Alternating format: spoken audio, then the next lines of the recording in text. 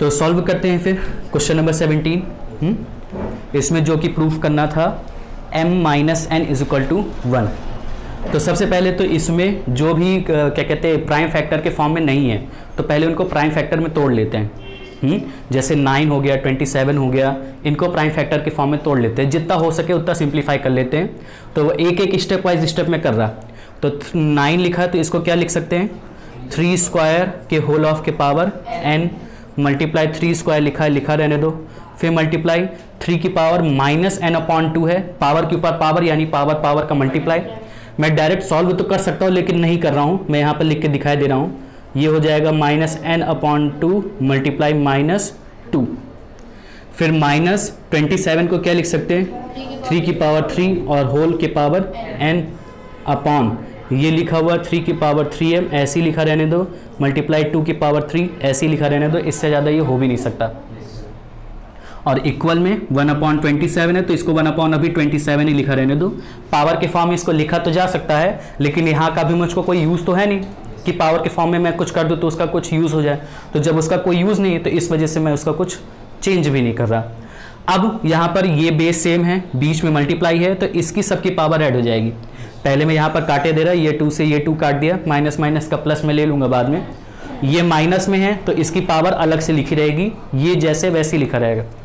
तो यहाँ पर ये तीनों बेस सेम है तो इनकी पावर प्लस हो जाएगी। ये पावर के ऊपर पावर था तो पावर पावर का मल्टीप्लाई हो गया। ये टू एन बन गया प्लस टू बन गया, ये क्या बन जाएगा? प्लस एन जो माइनस माइनस का था तो माइनस माइनस प्लस बन गया तो सिर्फ़ एन बन गया। फिर माइनस थ्री की पावर थ्री एन। इतना हो जाएगा। फिर अपॉन इसमें तो कुछ चेंज हो नहीं सकता। ये ऐसे ही लिखा रहेगा, थ्री मल्ट थ्री की power three multiply two cube equal one upon twenty seven. हो जाएगा। अब इसके बाद ऊपर पावर को प्लस ही कर लेंगे। तो क्या बन जाएगी ये? थ्री की power three N plus two. Minus three की power three N upon three की power three M multiply two cube equal one upon twenty seven. ये हो जाएगा। अब तो देखो, इसमें कोई बेस सेम तो है, लेकिन बीच में माइनस लगा तो इनके बीच में कोई भी ऑपरेशन हो नहीं सकता। Plus minus multiply divide power में भी और इनके बेस में भी कुछ नहीं हो सकता। और यहाँ पर डिवाइड तो है बेस तो सेम है पावर माइनस तो हो सकती है, लेकिन यहाँ पर जब कोई दो टर्म माइनस हो रहे होंगे तो नीचे वाली पावर के ऊपर लाके माइनस भी नहीं कर सकते। तो इसके लिए पहले इसको थोड़ा सा और सिंप्लीफाई करना होगा। अब यहाँ पर हम इसको करेंगे कि अगर मैं इसको लिखना चाहूँ, फिर वही चीज़ आ जाती। अगर मैं इसको चाहूँ तो क्या मैं इसको थ्री की power three N multiply three की पावर टू नहीं लिख सकता? क्योंकि ये दोनों पावर प्लस हो रही है। तो कब हुई होगी? जब बेस सेम रहा होगा, बीच में मल्टीप्लाई और पावर इस तरह से रही होगी, तभी तो प्लस हुआ होगा। तो बिल्कुल एक स्टेप पिछला वाला किया। और माइनस थ्री की पावर थ्री एन है तो थ्री की पावर थ्री एन लिखा रहने दो।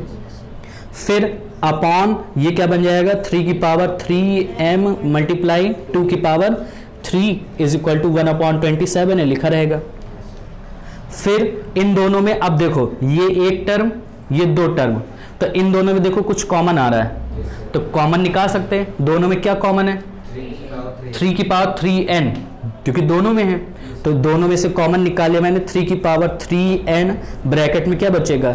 थ्री स्क्वायर माइनस इसकी जगह क्या बचेगा? वन जब कुछ नहीं बचता तो यानी कि वन बचेगा। और या तो अगर इसमें भी नहीं आया तो इसका एक और तरीका है वन लिखने का। अगर मैं यहाँ पर थ्री एन को चाहूँ तो थ्री एन प्लस ज़ीरो भी लिख सकता हूँ। फिर थ्री एन प्लस ज़ीरो लिखा रहेगा तो फिर मैं इस फॉर्म में तोड़ूँगा। तो यहाँ थ्री की power three N multiply three की पावर ज़ीरो और थ्री की पावर ज़ीरो फिर यहाँ बचेगा। और थ्री की पावर ज़ीरो यानी कि किसी की भी पावर ज़ीरो उसकी वैल्यू वन तो ये हो जाएगा। फिर अपॉन थ्री की power three M multiply two cube is equal to one upon twenty seven अब देखो, अब ये दोनों बेस सेम हो गया और ये दोनों ऊपर और नीचे दोनों अलग सेपरेटली मल्टीप्लाई के फॉर्म में थे। तो जब मल्टीप्लाई के फॉर्म में है तो इसका मतलब कि इन दोनों की पावर अब माइनस हो सकती है, क्योंकि बीच में डिवाइड लग गया इनके। और या तो अच्छा अभी उसको ना करो। यहाँ पर थ्री की पावर टू यानी कि ये बन जाएगा nine nine minus one eight तो ये ऊपर क्या लिखा जा सकता है? थ्री की power three N multiply eight upon ये क्या है? थ्री की power three M multiply two cube वो भी eight equal one upon twenty seven, ये मल्टीप्लाई में एट मल्टीप्लाई में एट ऊपर नीचे कट जाएगा। अब देख लो, अब तो सेपरेटली इनके बेस के बीच में डिवाइड है ना? तो जब दोनों के बीच में डिवाइड है, यानी कि पावर माइनस हो जाएगी। तो यहाँ पर जब पावर माइनस होगी तो क्या बन जाएगा? थ्री की power three N minus three M ऊपर वाली पहले, नीचे वाली बाद में। और इक्वल में, अब इसको पावर के फॉर्म में चेंज कर लो, क्योंकि यहाँ पर हमको बेस थ्री लाना है। तो ये बनेगा वन अपॉन थ्री क्यूब और one upon three cube divide में है, ऊपर ले आओ तो पावर रेसिप्रोकल हो जाएगी। तो ये हो जाएगा थ्री की पावर माइनस थ्री। अब ये बिल्कुल पहले वाले की तरह बन गया कि दोनों तरफ़ बेस सेम है, बीच में इक्वल लगा है on comparing both side power are equal तो जब यहाँ पर यही स्टेटमेंट लिख देना अपने मन से ऑन कंपेयरिंग बोथ साइड तो क्या हो जाएगा यहाँ पर? पावर पावर इक्वल यानी three N minus three M is equal to minus three अब देखो यहाँ पर दोनों में से क्या कॉमन है? थ्री तो थ्री कॉमन है तो यहाँ पर कॉमन ले लिया। N minus M is equal to minus three three multiply में उधर जाएगा डिवाइड में हो जाएगा। तो क्या हो जाएगा? N minus m is equal to minus one हमको प्रूफ क्या करना है? m माइनस एन तो m माइनस एन यहाँ पर m माइनस का है तो हमको इसको बनाना प्लस का है। तो इसको ट्रांसपोज करके उधर ले जाओ। तो जब उधर ले जाएँगे तो क्या बन जाएगा ये?